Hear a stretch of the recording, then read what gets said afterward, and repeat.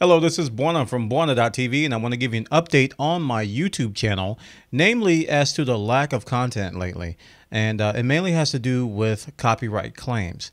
Now, I have some videos in the hopper ready to go out on my YouTube channel, but some of them got flagged for copyright, and others I just am reluctant to publish them mainly because of that.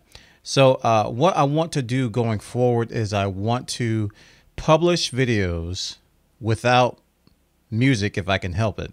And if I do have some music backgrounds, I'm going to be very, very careful on the selection because even if something gets falsely claimed, which most times it does, it is a headache.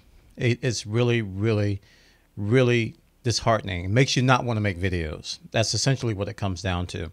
Uh, as you all know, I've been making a lot of uh, not movies. I've been making a lot of videos over on our content on twitch.tv slash Bwana uh, live video gameplay. And a lot of times there's even there's my music I'll have playing, and sometimes there's the video game music that's playing in the background. Um, I think in the future, if I if I upload a clip, I may just take out the audio, um, strip out some of the audio, and just have some commentary, and uh, hopefully that'll play.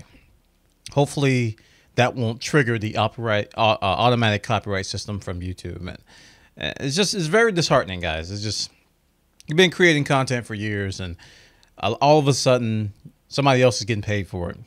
And uh, I do respect copyright laws. That's why I'm taking this seriously.